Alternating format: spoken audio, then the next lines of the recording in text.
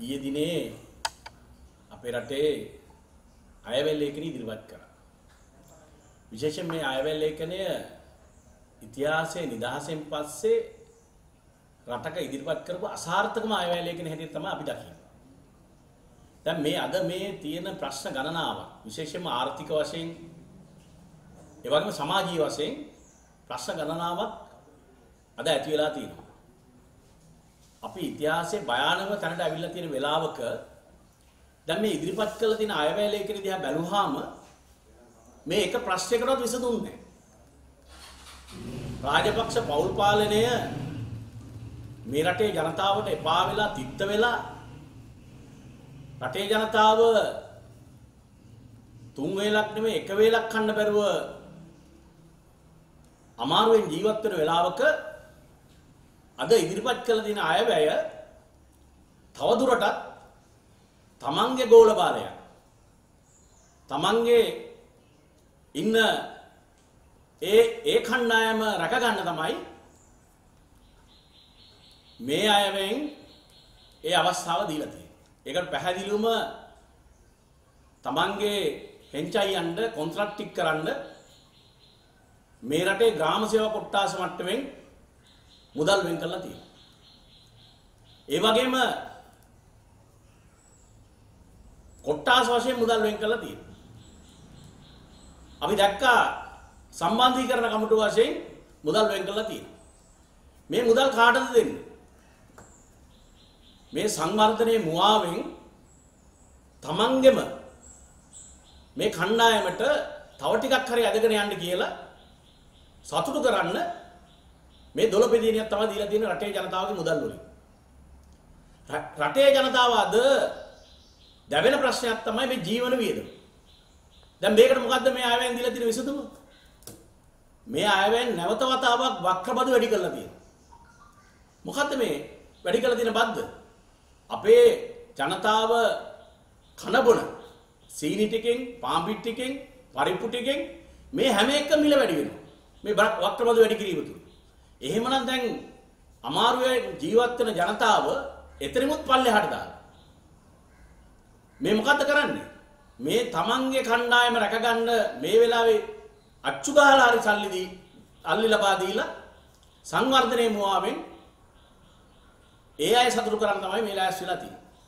ඉතින් ඒ නිසා අද අපි පැහැදිලිවම කියනවා මේක රාජපක්ෂ පෞල් පාලනයේ කඩා වැටෙන වෙලාවේ තව ටිකක් හරි දුරට යන්න පුළුවන් කියලා තමන්ගේ ගෝල බාලයන් සනසන්න විතරක් ලබා දුන්න අතලොස්සක් ඒ ගෝල බාලයන් විතරක් සනසන්න ලබා දුන්න ආයවැයක් මේ රටේ සමස්ත ජනතාව ඉතාමත් අමාරු තැනකට පහළට හෙළලා ඒ සියලු ප්‍රශ්න අහක බලපු ආයවැයක් හැටියට තමයි අපි දකින්නේ.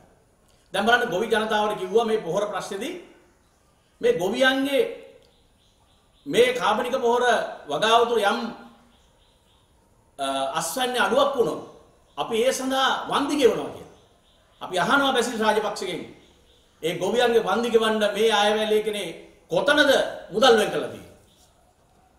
ඉතින් ඒ වගේ හැම අංශයකම රටේ ජනතාව නැවත වතාවක් රවට්ටමින් සීනි බෝල කතා කියමින් අද මේ අය හිතාගෙන ඉන්නේ මේ රටේ ජනතාව නැවතත් රවට්ටලා මේක ඉස්සරහට යන්න පුළුවන් කියලා.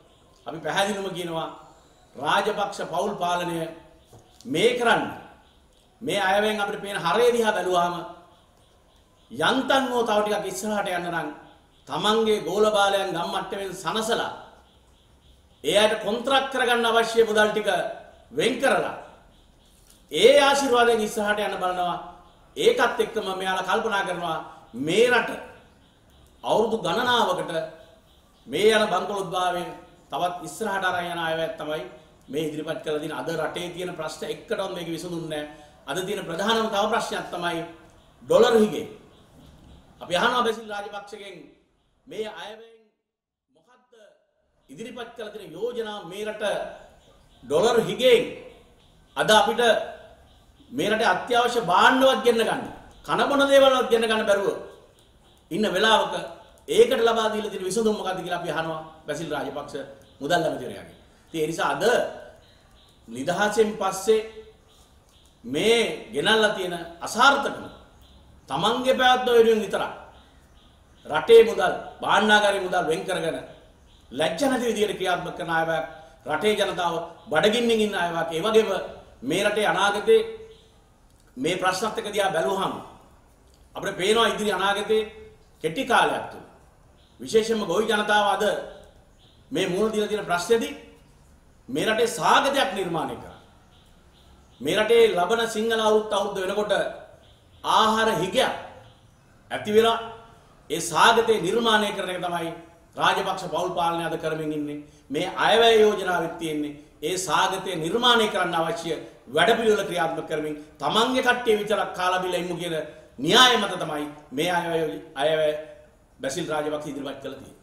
දාසය කරන්න දෙන්නේ නැහැ කියලා මොකක්ද මේ කරන්නේ දාසය? ඇත්තම 16 වෙනිදා මේ රටේ අද මේ ඇති වෙලා තියෙන අවාසනාවන්ත තත්ත්වය මේ පීඩනය මේ රටේ ජනතාවගේ අයිතියක් මේ ආණ්ඩුවට විරුද්ධව පාරට බහැලා මේක කතා කරන එක. ඉතින් අපි පැහැදිලිවම කියනවා 16 වෙනිදා මොනවා කතා කරත් අපි කොළඹට එනවා.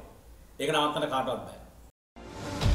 The News Reporter වාරණයෙන් තොර අපක්ෂපාති වාර්තාකරණය